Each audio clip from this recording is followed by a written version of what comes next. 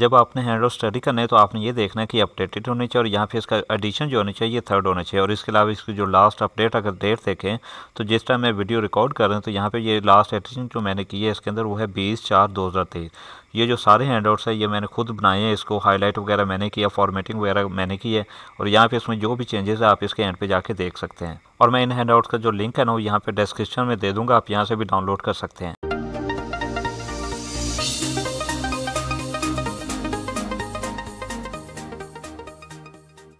आज हम week eleven के टॉपिक को स्टार्ट करते हैं। ये टॉपिक 118 से स्टार्ट होकर 130 तक जाते हैं।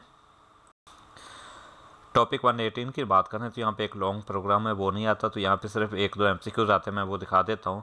यहाँ पे जो पहला एम आता है, वो कुछ इस तरह से आता है। इन एस्क्रोनियस इनपुट आउटपुट इसका जो आंसर होगा, आपने देना होगा, वो होगा songs can be played with other operation being executed same time तो यहाँ पे एक ये एम आता है सेकंड नंबर पे एक एम और आता है, मैं आपको यहाँ पे दिखा देता हूँ। यहाँ पे जो सेकंड आता है, वो कुछ इस तरह से आता है the first two parameter in A R G C will be तो यहाँ पे जो दो पैरामीटर वो कौन कौन से होंगे? एक तो प्रोसेस नेम होगा और दूसरे नंबर पे होगा pattern which is to be searched topic 119 की बात करें तो यहाँ पे उन्होंने कोई थ्रेड मॉडल बताए हैं। सबसे जो पहला मॉडल है, वो है बॉस वर्कर मॉडल अब ये नाम से ही ज़ाहिर है कि एक बॉस होता है और बाकी जो होते हैं, वो सारे वर्कर होते हैं। तो यहाँ पे बॉस क्या करता है कि अपने वर्कर को काम जो है ना, वो दे देता है और वर्कर क्या करता है, वो सारा काम कंप्लीट करके अपने बॉस को रिपोर्ट करते हैं। तो यहाँ पर ऐसे होगा कि थ्रेड जो होंगे, उनको काम प्रोसेसर है, वो काम दे देगा और वहाँ पर जो थ्रेड होंगे, वो अपना काम कंप्लीट करके वहाँ पर अपने जो बॉस यानी कि प्रोसेसर को जाके रिपोर्ट कर देंगे। सेकंड मॉडल की बात करें तो वह वर्क क्री मॉडल। यहाँ पे क्या होता है कि जब वर्कर को काम मिलता है ना तो वहाँ पे वो काम को आपस में एक दूसरे के साथ डिवाइड कर लेते हैं और एक दूसरे के साथ कोऑपरेट करते हैं। अब यहाँ पे समटाइम वो डायरेक्शन जो होता है ना बॉस की तरफ़ से नहीं भी होते, लेकिन वो काम ये कर रहे होते हैं और इसकी एग्ज़ाम्पल है मल्टी थ्रेडेड प्रोग्राम यानी कि जब प्रोसेसर उनको काम डिवाइड कर देते हैं ना तो थ्रेड जो है ना, आपस में भी काम डिवाइड करके एक दूसरे का जो काम है ना, वो आसान कर सकते हैं। थर्ड मॉडल की बात करें तो क्लाइंट सर्वर मॉडल अब यहाँ पे क्या होता है कि एक क्लाइंट जो होता है वो रिक्वेस्ट करता है और उसकी रिक्वेस्ट के ऊपर जो सर्वर होता है ना, एक थ्रेड को रन कर देता है। अब जितने क्लाइंट होंगे ना, उतने ही उनके लिए थ्रेड रन कर दिए जाएँगे। सो इस तरह से करने से क्या होता है, जो काम होता है ना, वो यानी कि a at the same time performer होता है रेदर देन सिक्वेंशली सिक्वेंशली कहते हैं कि नंबर बाय यानी कि वन टास्क नंबर वन पहले परफॉर्म किया जाए, फिर टास्क नंबर टू फिर टास्क नंबर थ्री तो यहाँ पे कॉन्करेंटली का मतलब ये होगा कि टास्क वन टू थ्री जितने भी टास्क होंगे at the same time perform किए जा रहे होंगे। और लास्ट मॉडल की बात करें पाइपलाइन मॉडल यहाँ पे वर्क जो होता है ना, एक थ्रेड से दूसरे थ्रेड पे मूव करता जाता है। अब यहाँ से आपको शॉर्ट क्वेश्चन या एमसीक्यूज आ सकते हैं। शॉर्ट क्वेश्चन में आपसे ये पूछ सकता है वर्क फ्री मॉडल क्या होता है, या क्लाइंट सर्वर मॉडल क्या होता है? तो आपने इनको डिफाइन करना होगा। और यहाँ पे दो एमसीक्यूज आते हैं, मैं आपको दिखा देता हूँ। पहले नंबर पर पूछते हैं in client server model rather than यानी सिक्वेंशली के बजाय काम कैसे होता है कॉन्करेंटली होता है। सेकंड एमसीक्यूज की बात करें in which of the following model work move from one thread to the next thread तो यहाँ पर पाइपलाइन मॉडल के अंदर ही मूव करता है। यहाँ पे उन्होंने इसके कुछ एडवांटेजेस बताए हैं तो आप इनको देख लीजिएगा। यहाँ पे इतने ज़्यादा इंपॉर्टेंट नहीं है। टॉपिक 120 की बात करें तो यहाँ पे उन्होंने बताया कि मल्टी प्रोसेसिंग सिस्टम और मल्टी थ्रेडिंग को यूज़ करके आप परफॉर्मेंस को कैसे इंप्रूव कर सकते हैं। तो यहाँ पे जो मेन आइडिया ये होता है कि आपका जो मेन टास्क होता है ना, उसको छोटे छोटे टास्क में आप डिवाइड कर देते हैं और जब वो छोटे छोटे जो टास्क होते हैं वो कंप्लीट हो जाते हैं तो वहाँ पर उनको क्या करते हैं एट दी एंड उनको मर्ज कर दिया जाता है। अब यहाँ पर बात करें तो यहाँ पे पैरालिज्म यूज़ हो रही है, यानी कि जो सारे टास्क हैं वो at the same time perform किए जा रहे हैं। तो इससे क्या होता है कि बेटर परफॉर्मेंस होती है, वो अचीव हो जाती है। अब सेकंड नंबर पर अगर बात करें तो यहाँ पर उन्होंने वर्क रिव्यू मॉडल को इम्प्लीमेंट किया है। अब यहाँ पे जो मल्टी थ्रेडिंग होते हैं ना, वो ज़्यादा बेनिफिशियल होती है। किसकी बजाय मल्टी प्रोसेसिंग सिस्टम में। यानी मल्टी प्रोसेसिंग सिस्टम की बात करें तो यहाँ पे कॉन्टेक्ट स्विचिंग में टाइम जो होता है ना, वो बहुत ज़्यादा लग जाता है। तो इससे ज़्यादा जो बेटर परफॉर्म करती है मल्टी थ्रेडिंग परफॉर्म करती है। मैं यहाँ पे आपको पिक्चर की मदद से समझाता हूँ। यहाँ पे देखिए एक लॉन्ग रे है तो यहाँ पे सबसे पहले जो काम करना है, इन्हें फोर सबलिस में हमने डिवाइड कर लिया है। अब फोर सबलिस में डिवाइड करने के बाद हमें इन्हें, इनके लिए जो चार थ्रेड है, हमें वो बनाने पड़ेंगे। तो यहाँ पे thread zero thread one thread two thread three create कर ले। लेकिन ये क्रिएट करने से पहले आपको कुछ चीज़ें माइंड में रखना होगी कि जब आप ये क्रिएट कर रहे हैं ना तो इनको सस्पेंडेड स्टेट में क्रिएट करें। सस्पेंडेड स्टेट में क्यों क्रिएट करना है, उसकी रीज़न ये है कि जस्ट फोर्स किया कि हमने इस थ्रेड को तो क्रिएट कर लिया लेकिन हमने इनको या थ्रेड को क्रिएट ही नहीं किया, या हमने इनको लेट क्रिएट किया। तो यहाँ पे क्या होगा कि इसने जो अपनी वर्किंग होगी वो कंप्लीट कर लेगा और यहाँ पे आके वेट करता रहेगा। तो इस वजह से क्या होगा कि रेस कंडीशन अकर हो सकती है। तो इसलिए क्या करना है कि यहाँ पे जितने भी आप थ्रेड क्रिएट करें, आपने इनको सस्पेंडेड स्टेट यानी कि वो काम जो ना कर रहे हो, उस स्टेट में आपने क्रिएट करना है। तो जब ये सस्पेंडेड स्टेट में क्रिएट हो जाते हैं ना तो सारे क्रिएट होने के बाद क्या करना है, इनको रेजियम कर देना है। अब यहाँ पे क्या होगा कि ये सारे अपनी वर्किंग स्टार्ट कर देंगे तो यहाँ पे जस्ट फोर्स के ये भी अपनी वर्किंग कर लेगा, ये भी अपनी वर्किंग कर लेगा। तो यहाँ पे आके ये दोनों की वर्किंग हो जाएगी, आपस में यानी कि शॉर्ट हो जाएँगे। अब इसी तरह अगर इन दोनों की बात करें तो यहाँ पे पहले ये सबसे पहले इसको शॉर्ट कर लेगा, फिर ये वाला इसको शॉर्ट कर लेगा, और यहाँ पे जब ये दोनों शॉर्ट हो जाएँगे तो यहाँ पे आके ये दोनों आपस में एक दूसरे को शॉर्ट कर देंगे। और लास्ट पे क्या होगा कि यहाँ पे इसको और यहाँ पे इसको इन दोनों को आके यहाँ पे शॉर्ट करके मर्ज कर दिया जाएगा।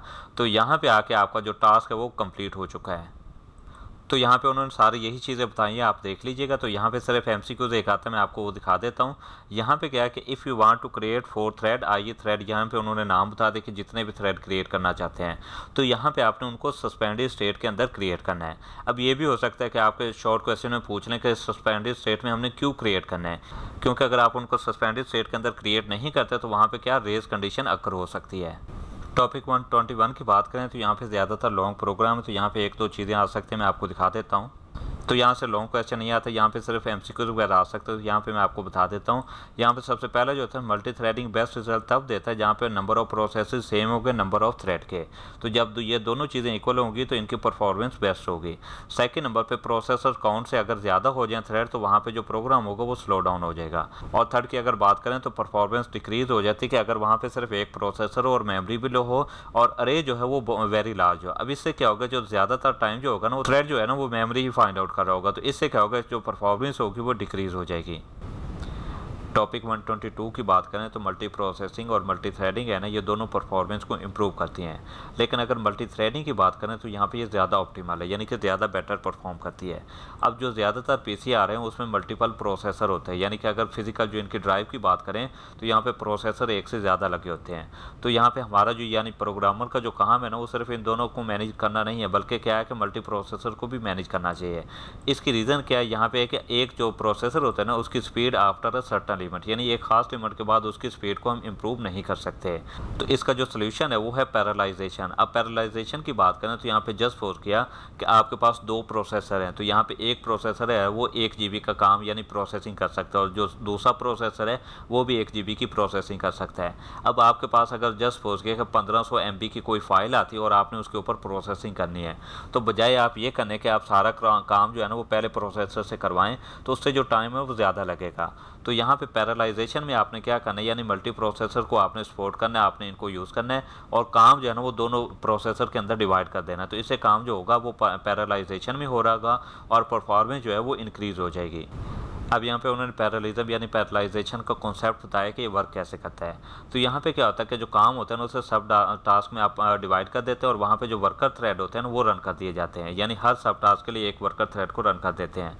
अब यहाँ पर जो सब टास्क है ना, वो डिवाइड करने के बाद थ्रेड जो होते हैं, वो अपना काम करते हैं। अब यहाँ पर जो वर्कर काम कर रहे होते हैं ना तो इंडिपेंडेंटली कर रहे होते हैं, यानी एक दूसरे के साथ इंट्रैक्शन नहीं कर रहे होते। तो जब ये सारा काम अपना जो थ्रेड रन हो रहे होने तो अपना काम कंप्लीट कर लेते हैं तो उसके बाद एक मास्टर प्रोग्राम यानी आप ये कहने का जो प्रोसेसर होता है तो वहाँ पे उन सब के काम को इकट्ठा कर देता है और वहाँ पे उनको सिंगल रिज़ल्ट के अंदर मेंटेन कर देता है। अब यहाँ पे बात करें तो यहाँ पे म्यूचुअल एक्सक्लूजन इसकी ज़रूरत नहीं होती आगे चल के टॉपिक आएगा। तो यहाँ पे जो मास्टर वर्कर होता है ना, यानी ये कह लें कि जो मेन थ्रेड होगा, ये मेन प्रोसेसर होगा, वो सारा काम यानी कि एक दूसरे के साथ कम्युनिकेशन कर रहा होगा और उनसे जो काम है वो कंप्लीट होने का मतलब अवेट यानी वेटिंग कर रहा होगा। अब यहाँ पे जो हर वर्कर है, यानी कि एक सेपरेट थ्रेड होगा ना, वो सेपरेट प्रोसेसर के ऊपर अपनी वर्किंग कर रहा होगा। और ये जो है ना, ये सबसे बेस्ट सोल्यूशन यानी कि ऑप्टीमल सोल्यूशन ये भी हो सकता है कि जो आपने वर्कर बनाए यानी कि थ्रेड बनाए वो सेम प्रोसेसर के ऊपर भी हो सकता है, लेकिन जो बेस्ट ऑप्टीमल सोल्यूशन है कि हर थ्रेड जो है ना, वो डिफरेंट प्रोसेसर के ऊपर वर्किंग कर रहा हो तो ये सबसे बेस्ट सोल्यूशन है। सो यहाँ पे जरा क्वेश्चन देख ले तो जो इस टॉपिक से आता है तो यहाँ पे सबसे पहले एमसीक्यूज आता है which of the following is correct तो यहाँ पे after certain limit processor speed can not be enhance और यहाँ पे सेकंड क्वेश्चन देख ले तो यहाँ पे how worker thread perform their work और ये लॉन्ग क्वेश्चन है। तो यहाँ पे आप ये तीन लाइनें भी लिख सकते हैं, लेकिन आप यहाँ से लेकर यहाँ तक भी लिख सकते हैं, यानी आप ये तीन चार लाइनें जो है, ये भी लिख सकते हैं। कैसे? यहाँ पे सबसे पहले तो आप यहाँ पे रन तक लिख लें, और उसके बाद क्या करें? यहाँ पे ये सेकंड लाइन को और यहाँ पे आप सेकंड लाइन को लिख लें और उसके बाद आप ये वाली लाइन लिख दें ओनली दी मास्टर वर्क ये वाली आप लाइन लिख दें और उसके बाद आप ये लास्ट वाली लाइन लिख दें। तो इस तरह ये जो आपका क्वेश्चन होगा वो कंप्लीट हो जाएगा। अब यहाँ पे एक आपका एम भी आता है which of the following is an optimal solution तो अभी हमने देखा था कि जब थ्रेड होगा वो सेपरेट प्रोसेसर के ऊपर होंगे तो ये ऑप्टीमल सोल्यूशन होगा। टॉपिक 123 की बात करें तो यह थ्रेड लोकल स्टोरेज यानी जिसे टीएलएस भी कहा जाता है। ये टॉपिक हमने पीछे भी पढ़ा था। तो यहाँ पे सबसे पहले ये thread is an execution unit ये एमसीक्यूज में भी आता आपने इसको देख लेना है। अब यहाँ पे मल्टी थ्रेडिंग की बात करें तो वहाँ पे जो थ्रेड होते हैं वो बहुत ज़्यादा हो सकते हैं। और यहाँ पे मेन कॉन्सेप्ट हमने पढ़ा था कि जो हर थ्रेड होगा ना, उसकी अपनी थ्रेड लोकल स्टोरेज यानी TLS होगी। और एक थ्रेड को दूसरे थ्रेड की लोकल स्टोरेज को टच नहीं करना चाहिए, नहीं, उसको मॉडिफाई वगैरह नहीं करना चाहिए। अब अगर ये TLS की बात करें तो यहाँ पे हर थ्रेड को एक अरे ऑफ़ पॉइंटर है ये देती है। तो यहाँ पे उन्होंने थ्रेड लोकल स्टोरेज की एग्जांपल दी हो तो यहाँ पे देखें, इस तरह जो है इसके इंडेक्स नंबर आ जाते हैं और इस तरह की अगर बात करें तो ये थ्रेड नंबर आ जाते हैं। यहाँ पे आपको ये ए भी आ सकते हैं कि यहाँ पे TLS को एलोकेट करने के लिए आपको कौन सी ए को यूज़ करना पड़ेगा। तो यहाँ पे जो यूज़ करेंगे टी इज़ अलॉक यानी कि यानी कि टी इज़ एलोकेटेड तो इसको आप यूज़ करेंगे और यहाँ पे आर्गूमेंट की बात करें तो यहाँ पे कोई भी आर्गूमेंट नहीं ले रहे हैं। अब यहाँ पे ये बात करें, ये जब सक्सेसफुली रन हो जाते हैं ना तो यहाँ पे जो thread local storage index number होगा, वो रिटर्न कर देगी और किस फॉर्मेट में करेगी? डबल वर्ड में। लेकिन इन केस अगर ये फेल हो जाए तो यहाँ पे माइनस वन को रिटर्न कर देगी। और ये चीज़ जो है, ये एम में भी आती है। In the form of failure T is allow function return तो किस चीज़ को रिटर्न करता है? माइनस वन को रिटर्न करता है। और यहाँ पे सेकंड एपीआई की बात करें तो यहाँ पे टी इज़ फ्री यानी कि जो थ्रेड लोकल स्टोरेज है, उसको फ्री कर रहे हैं। तो यहाँ पे इसके लिए जो होगी, इसकी रिटर्न टाइप भूल होगी, यानी कि ट्रू होगी या फाल्स होगी। और यहाँ पे इसका इंडेक्स नंबर होगा, यानी किस इंडेक्स नंबर के ऊपर पड़ी है तो फिर वहाँ पर उसको फ्री कर दिया जाएगा।